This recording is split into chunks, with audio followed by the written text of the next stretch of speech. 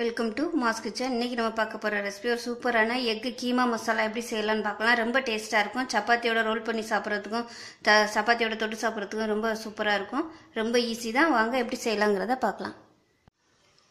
Egg keema masala செய்கிறதுக்கு என்னென்ன வேணும்னு பார்த்துடலாம். பெரிய சைஸாக ரெண்டு வெங்காயம் நல்லா பொடியாக நறுக்கி வச்சுருக்கேன். மீடியம் சைஸாக மூணு தக்காளி நல்லா பொடியாக நறுக்கி வச்சுருக்கேன். ஒரு டேபிள் ஸ்பூன் இஞ்சி பூண்டு விழுது அரை டீஸ்பூன் கரம் மசாலா ஒரு பச்சை மிளகா பொடியாக நறுக்குனது. ரெண்டு டேபிள் ஸ்பூன் பட்டர். ஒரு டேபிள் ஸ்பூன் தனியாத்தூள். ஒன்றரை டேபிள் ஸ்பூன் மிளகாய்த்தூள். கால் டீஸ்பூன் மஞ்சத்தூள். அஞ்சு முட்டை வேக வச்சு துருவி எடுத்து வச்சுருக்கிறேன். கடாய் சூடானதும் பட்டர் ஆட் பண்ணிக்கலாம். இதோட கொஞ்சமாக ரீஃபைண்ட் ஆயில் ஆட் பண்ணிக்கலாம்.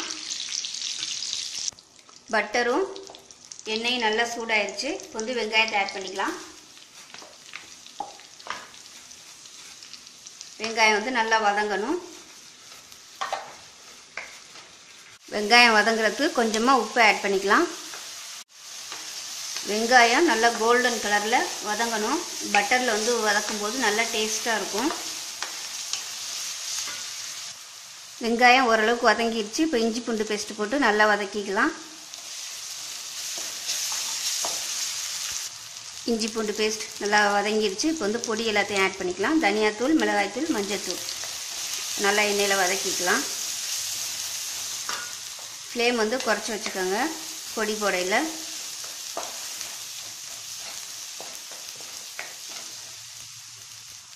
இப்போ இதில் தக்காளி ஆட் பண்ணி நல்லா வதக்கிக்கலாம். தக்காளி வந்து நல்லா மசிஞ்சு வரணும் கரைஞ்சி.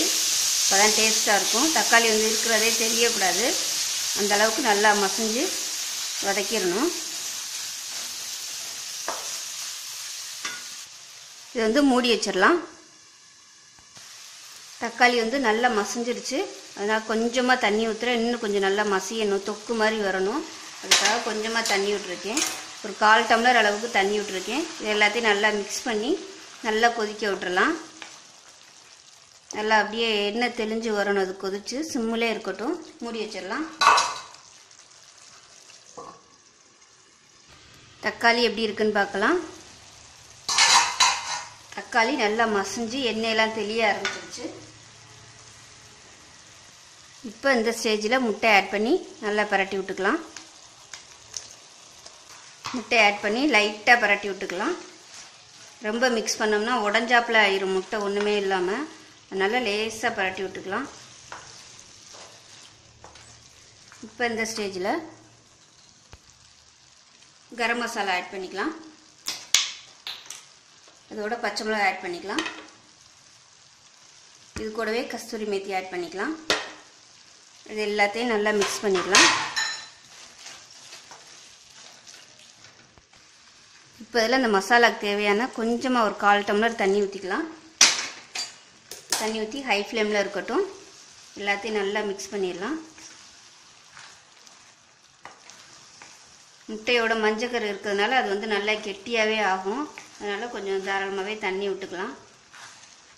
கொதிச்சு வரையில் நல்லா கெட்டியாக பரட்டினாப்பில் வரும். இப்போ இந்த ஸ்டேஜில் உப்பு ஆட் பண்ணிக்கலாம். கொஞ்சமாக உப்பு ஆட் பண்ணிக்கலாம். இப்போ ஃப்ளேமை குறைச்சி வச்சுட்டு கொஞ்சமாக கொத்தமல்லி ஆட் பண்ணிக்கலாம். கொத்தமல்லி ஆட் பண்ணி நல்லா ஒரு மிக்ஸ் கொடுத்துட்டு அப்படியே விட்டுடலாம் சிம்மிலே ஒரு அஞ்சு நிமிஷம் அப்படியே சிம்மில் இருக்கட்டும். நல்லா அது வந்து கெட்டியாயிரும்